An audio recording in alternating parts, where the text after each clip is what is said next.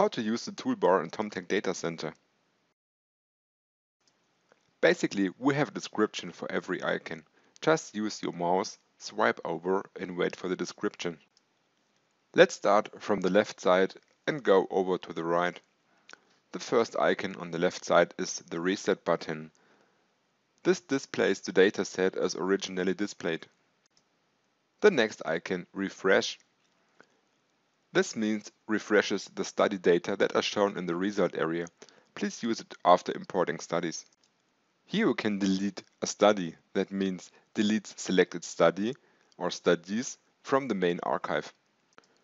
To select more than one study, please click Ctrl on the keyboard and use your left mouse click.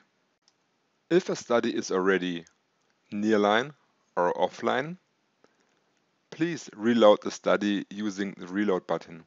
You can also see the availability here in the study list. Please follow me to the next icon. Here we can assign a study to a physician. The next two icons belong to each other. The first one is Set Study to Analyzed and the second button is Set Study back to Viewed. The background is once a study is imported in TomTec, you can see here the study status. New means the study is brand new and not yet opened in ImageCom. After opening in ImageCom, the study status will change to viewed. And then after making your measurements and reviewing, you can set the study to analyzed. And the last icon on the left side here is the archive selecting. That means archives the selected study to a specific archive, like a PACS system.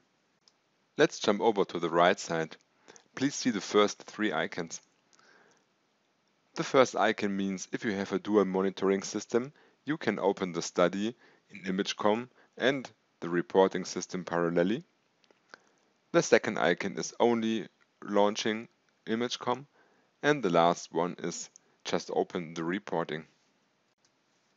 Next icon to the right is the so-called data maintenance. There you can see the submenu and actions like edit a study.